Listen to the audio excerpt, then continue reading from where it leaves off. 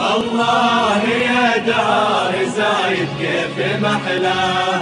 يا ناس حلوة وقلبي مغرم فيه. كل القمر يوم محياه في غاية الحسن يسلم كف بانيها الله يا دار زايد كيف محلاها؟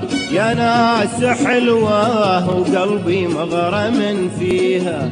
الله يا دار زايد كيف محلاها يا ناس حلوة وقلبي مغرم فيها.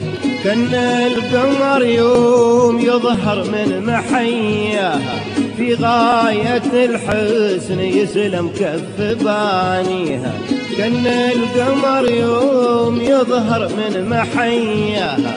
في غاية الحسن يسلم كف بانيها. الله محلاه يا ناس حلوة وقلبي مغرم فيه كن القمر يوم يظهر من محيا في غاية الحسن يسلم كف بانيها